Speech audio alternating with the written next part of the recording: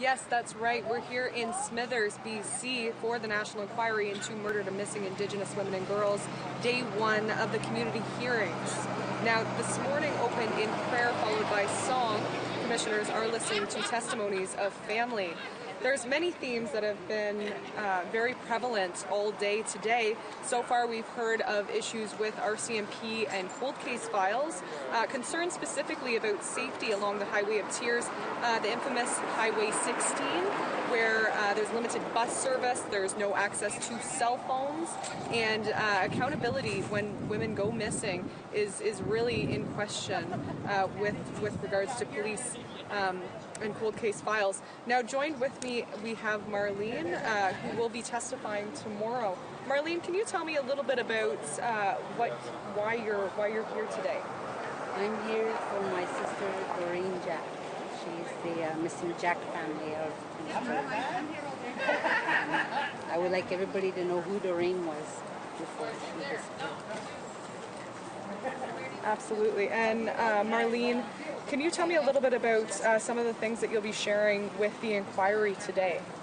I'll be sharing uh, Doreen's story, who she was, uh, the traumas that she's suffered from residential school, um, and afterwards. And what are you hoping after uh, years of, of, trauma and years of missing um, your sister? What are you hoping that the inquiry can do? I'm hoping they would help us as family members to have a bit of a closure, answers.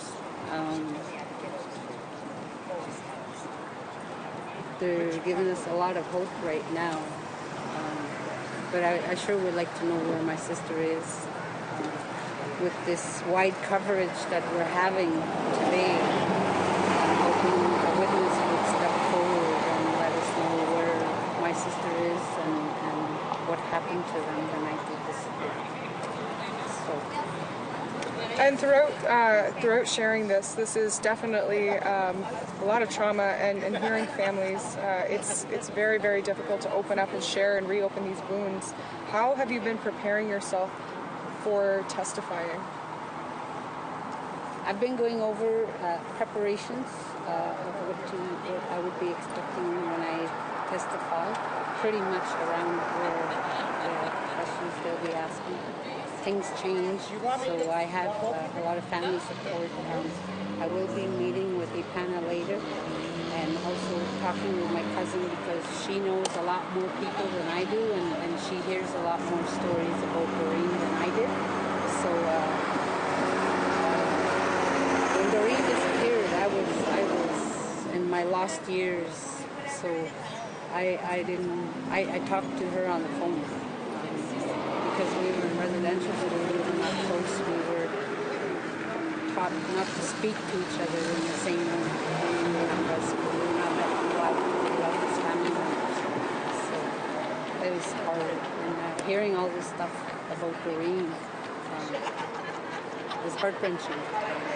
And last question for you. Can you tell me a little bit, when did, because uh, it wasn't only your sister, it was uh, actually family as well. It was all, all of everyone that is on your t-shirt. Um, when did they, when did they go missing? August 2nd, 1989.